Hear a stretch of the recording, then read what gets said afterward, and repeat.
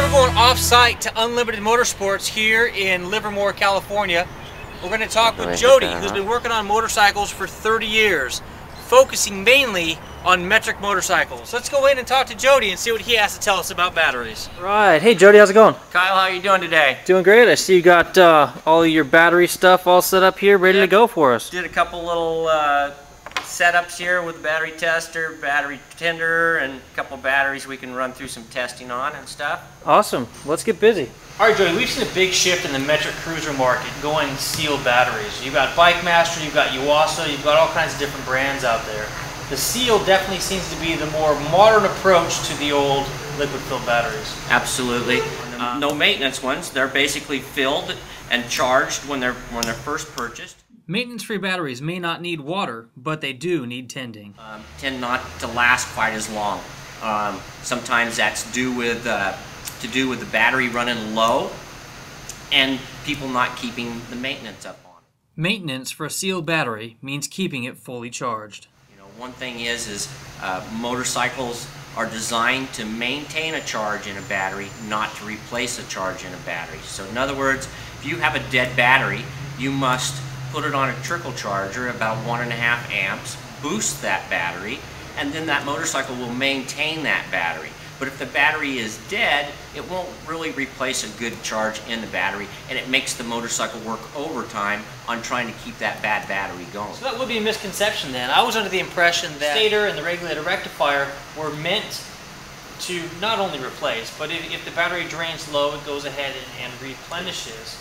It, Um, it will replenish to a certain point. If a battery gets all the way down, then it needs to be brought back up with a charger to bring up the specific gravity up. which in. is what really a battery tender or anything of that nature, the uh, PulseTech Xtreme Charge. You plug it in when you're not riding the motorcycle to make sure that battery is top notch for when you unplug and go for the ride. Well, on the topic, we can't forget about the old school acid filled batteries. You, you have your regular uh, liquid-filled batteries that are filled with electrolyte. Out every you know six eight weeks should be checked and topped off. Um, if you allow that maintenance to drop down, the life of the battery usually drops down too. So we've all got batteries installed in our motorcycles. What's the best way to make sure that the battery's going to last the longest?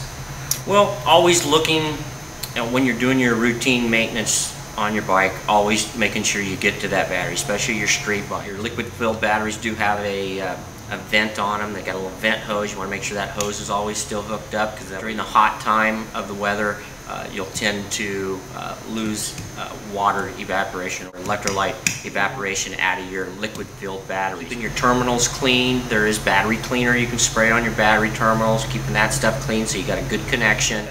To really find out the state of the battery and exactly what it's doing. Can you show us how this works? How you would test the battery to Sure. find out what the load Yep. looks like? Yep. Basically, this is what they call a little battery load tester. Um, you just took your negative, negative, positive, positive.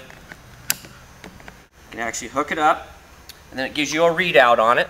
Like this one's reading 12 volts, and then it's got like a, a- a trigger here that you pull. And now, as you can see, this one's dropping down, and the more I hold this, it's heating it up and putting a load to it, and it's dropping the meter down there, and it's going to bad and then that basically with it releasing it's telling me it still has some sort of charge so is what I would do with this battery before I replaced it would be to give it about a three to four hour one and a half trickle charge and then I would reload test it again and as long as it stayed up into the green when I load tested it should be good enough to operate and, and run on a motorcycle So what you're saying is you would recommend that if they think that there's a battery issue, take the battery to the shop, have the shop test it to see where it hits as far as load goes.